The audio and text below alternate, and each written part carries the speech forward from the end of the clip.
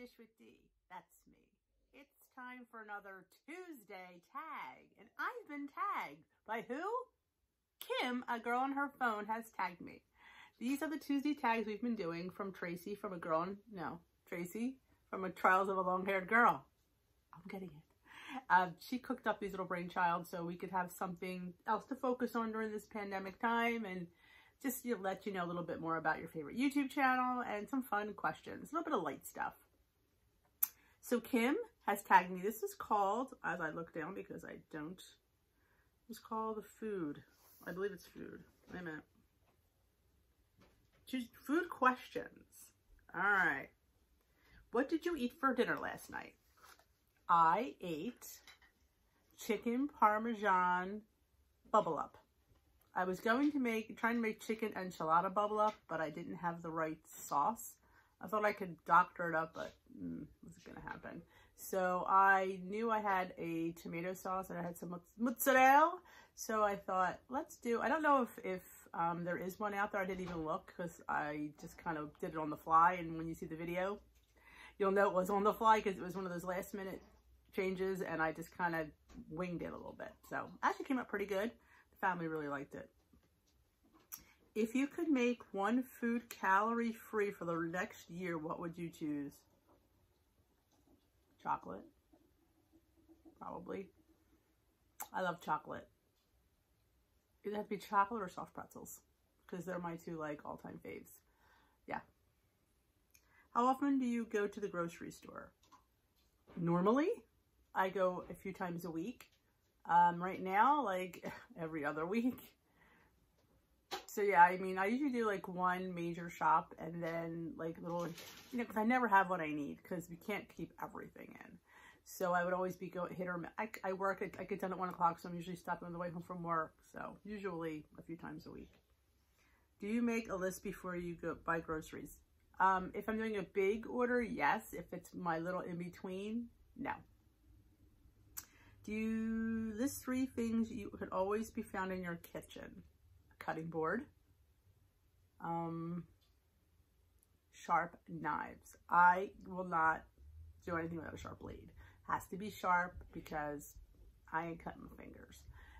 Absolutely. What else? Um, cutting board, a sharp knife, and my gadgets. I love gadgets. I love kitchen gadgets, like different funky spatulas and whisks and I'm um, into the spurtles right now.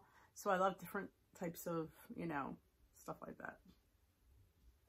How often do you clean your fridge? Not often enough. Um, I try to clean out the leftovers a few times a week because I don't like to see them sitting there because they get, but I you know I kind of deep clean the, the refrigerator a few times a year. I should, you know, every once in a while I go to the veggie drawer. Like it's not anything consistent. Maybe it should be.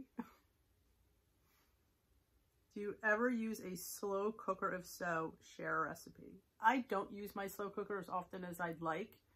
Um, the few things I do regularly make in my slow cooker are the crockpot apples from Hungry Girl. Um, and lately I've been doing the cranberry apple butter that uh, a friend at my Weight Watchers meeting shared. I have a video on that. Um, salsa chicken. I make that like a couple times a month. And I usually make like a nice chuck roast in there. It cooks beautifully. So there are the things I definitely make regularly in my crock pot. I don't know if there's anything else. The, I mean, the salsa chickens, like, like I said, every other week. My family was kind of getting tired of it. But I will uh, link that video and the cards for you. How often do you try new recipes? Um, not often enough. I don't really follow recipes. So how often do I get creative? A lot, all the time. So I'm not, like I said, I read cookbooks as a hobby, as a book. Like you might delve into a mystery. I like to read cookbooks.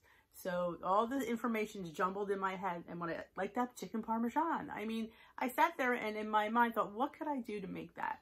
So I don't usually follow recipes. I just kind of create them from all jumbled up stuff in here. That's why it's hard for me to film because everything is just air in there floating around. And get it from here come right out in the old hands. So I, it's hard for me to film that way and write it up. I'm trying to be better at that, but it's a little bit difficult. But so I would sit there and say a few times a week, and, and they're not really recipes. They're just creations. Like, how often do you create? I create all the time. What is the most delicious meal you, you make? Uh, my family would say, I don't know. I mean, I make every. I mean, there's never a complaint unless it's, um, you have the most delicious meal. My soups. I make fantastic soup.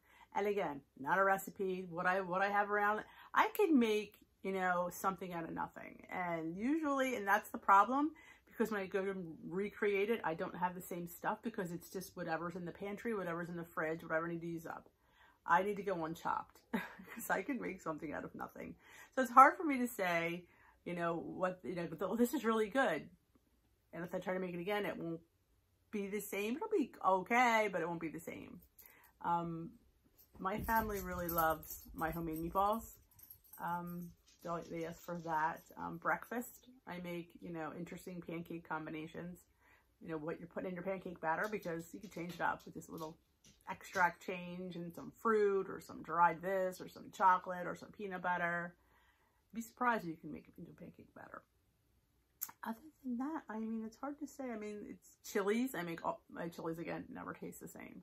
If I have peppers, if I don't have peppers, what kind of beans, you know, so they're always different. They're always pretty good, but it's just, I'm more of a fly by the seat of my pants. What's in the pantry? What could I create?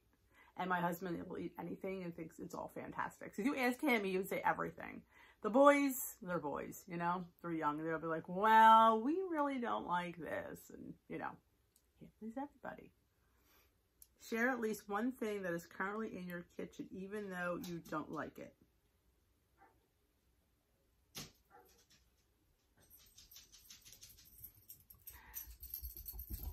I like a lot. Um, what don't I like? Oh, well, Easter time. And my husband's very big on Easter candy.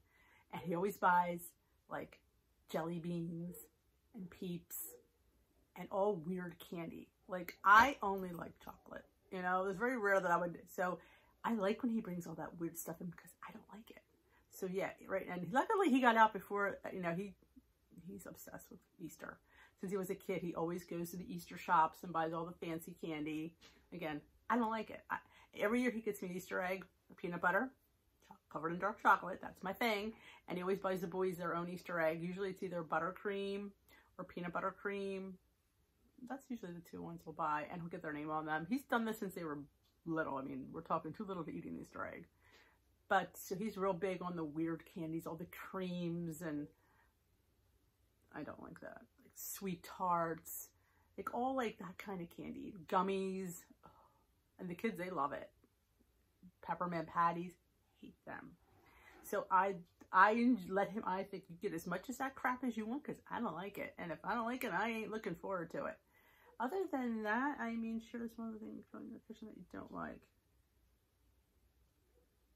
Mm, oranges, I don't eat, I don't eat fruit. I mean, I eat apples and I've learned to tolerate bananas, but I don't like cantaloupe. I don't like oranges, clementines. I mean, he has tons of them in there and they don't move me, but they should because they're zero points. But yeah, I'm not a big fruit eater like blueberries, blackberries. No, I strawberries I'll tolerate, but don't like raspberries, blackberries, or blueberries. And I'm very rare. Like, I'm not a big fruit. I don't like watermelon. I mean, I don't hate it if it's not something I gravitate towards. But other than that, I think it's... Oh, there's, there's the dog. All right, must be somebody walking walking a dog because, you know, they will investigate. So that's the 10 questions. I thank you, Kim, for tagging me. And I'd like to tag um, D, Skinny Jeans for Lifetime, and Sophie D. I'm going to tag all the D's. So check them out. I will have their links listed in the description box below. Thanks for including me. Have a great day. If you haven't already subscribed, hit that subscribe button.